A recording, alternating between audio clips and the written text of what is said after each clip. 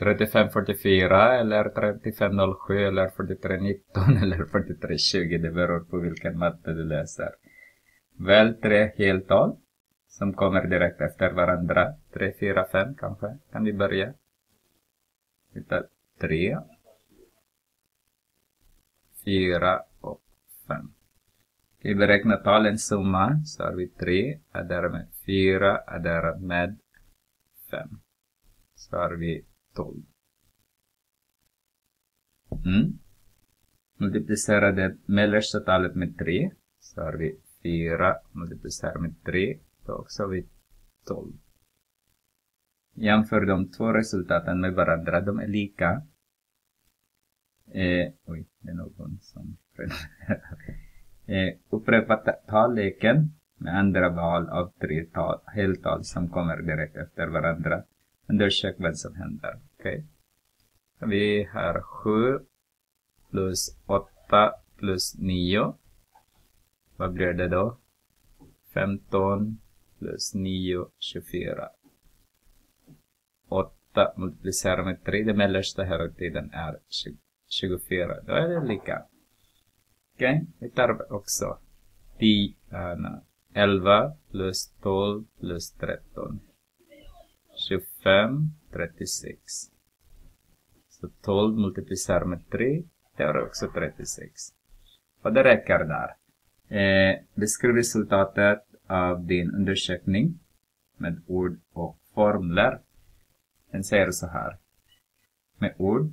Aha, det är lite svårt. Eh, tre tal på... Nej. Som sagt, det är svårt.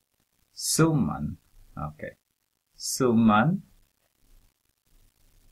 av tre tal på varandra är lika med produkten av det mellersta talet talet och 3. Ska vi titta med allmän eh, lösning så har vi x adderar med x plus 1 adderar med x plus 2. Alltså, den ökar med 1. Då har vi 3x plus 3. Så har vi x plus 1 multiplicerar med 3. Om vi multiplicerar en 3 där, där, så har vi 3x. Och 3 med 1 där har vi 3. De är lika. Vad händer då om jag säger att min mellersta är x? Så har jag x minus 1 och det är min. Då har jag x plus 1 och den andra. Alltså om jag säger att 4 är min x, den här x. 3 måste vara x minus 1. Alltså en mindre. Och 5 måste vara en mer. Så har den här är 0 nu. Så har jag bara 3x. Och mellersta, så x multiplicerat med 3, det är också 3x. Vad händer om det min uh, sista är x? Det vill säga mellersta måste vara en mindre. Och den första måste vara 2 mindre. Är lika med, så har vi 3x minus 3 istället.